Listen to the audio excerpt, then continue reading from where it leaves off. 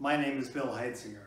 My wife Joan and I are getting ready to launch our ministry to the Arizona State Legislature in January of this coming year.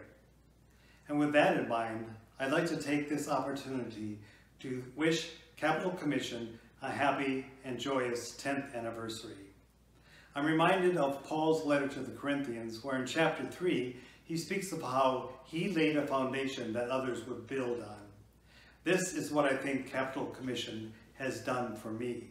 With Christ as its cornerstone, Capitol Commission has laid a firm foundation for me to build on.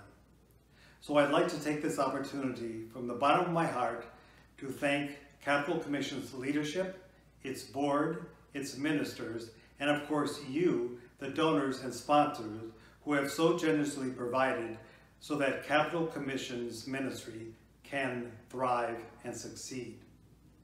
So again, thank you to my brothers and sisters in Christ Jesus. May God richly bless you. Amen.